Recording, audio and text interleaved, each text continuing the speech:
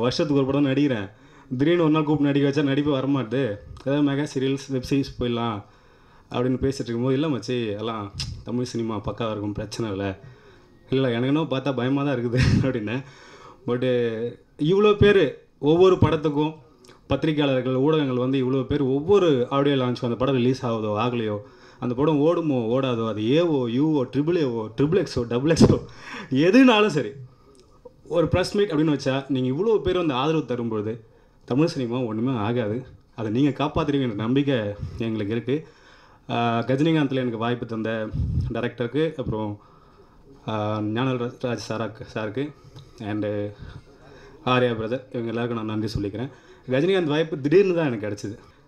யார் டேரக்டர்னு கண்டுபிடிக்க எனக்கு ஒரு நேரம் ஆச்சு. ஏன்னா கால் மேலே கால் போட்டு ஒருவேளை ஆர்யா பிரதருக்கு இவர் ஏதாவது செகண்ட் லீட் பண்ணுவார் அப்படின்னு நான் சந்தோஷம் பார்த்தேன். ஏன்னா நான் அவர் முன்னே பார்த்ததில்ல நான். அவர் இந்த மாதிரி ஒரு போலீஸ் கேரக்டர் பிரதர் நீங்கள் நடிக்கிறீங்க. ஒரு அஞ்சு நிமிஷம் யோசிச்சு அவர்கிட்ட கேட்கல. பிரதர் நீங்களே பண்ணிட்டு போகலாம் பிரதர் என்ன எதுக்கு இது கூப்பிடுங்க அப்படின்னு நினச்சேன். ஆனால் ஒரு நைட் அவர் யோசிச்சு அவரே பண்ணிட்டு இருக்கலாம் அதை. என்னையோட நல்லா ஹைட்டாக வெயிட்டாக இருக்காரு.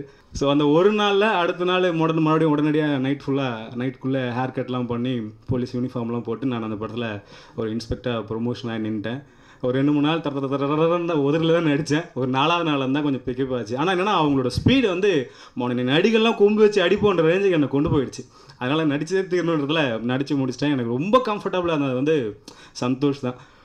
எவ்வளோ வெறுப்பு கோவம் வந்தாலும் ஓகே டார்லிங் பார்த்துக்கலாம் பார்த்துக்கலாம்.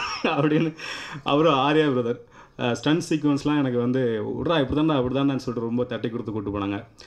படம் பார்த்தேன். எனக்கு ரொம்ப பிடிச்சது ஆர்யா பிரதர் அண்ட் சாயிஷா அதுக்கப்புறம் நரேன் சார் அண்ணன் தங்கச்சி ரெண்டு பேரும் அந்த படத்தில் பயங்கரமாக உமா மேடம் அவங்க ரெண்டு பேரோட கெமிஸ்ட்ரி செம்மையாக ஒர்க்கராக ஆகும். நான் அண்ணன் தங்கச்சின்னு சொல்கிறேன் நீங்கள் படத்தில் பார்த்தா அது என்னென்னு உங்களுக்கு தெரியும். செகண்ட் ஹாஃபில் நரேன் சார் வேறு லெவலில் கொண்டு போயிட்டார் படத்தை. அண்ட் சதீஷ் கருணாகரன் எல்லாருக்கும் என்னோட வாழ்த்துக்கள். அண்ட் இந்த வாய்ப்பு கொடுத்த அனைவருக்கும் ரொம்ப நன்றி.